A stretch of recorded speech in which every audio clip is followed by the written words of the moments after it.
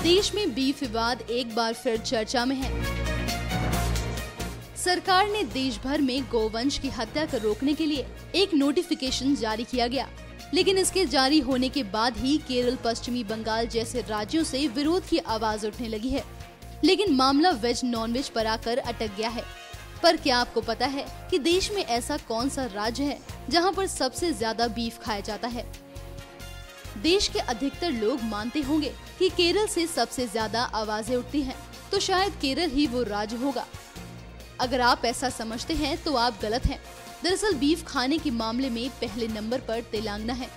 अगर नॉनवेज खाने वाले 10 राज्यों की बात करें तो केरल का तो छठवां नंबर आता है।